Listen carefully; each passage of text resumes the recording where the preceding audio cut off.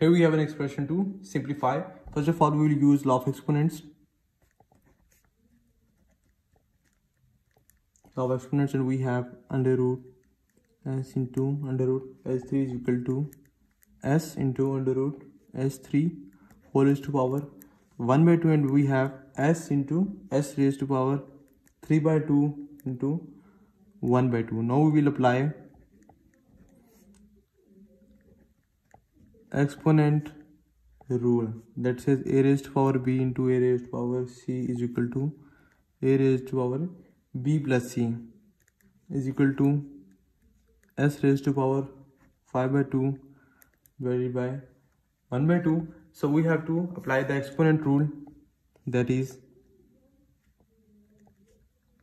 s raised to power 5 by 2 into 1 by 2 so s is equal to 5 by 4 that is our simplified form for the given expression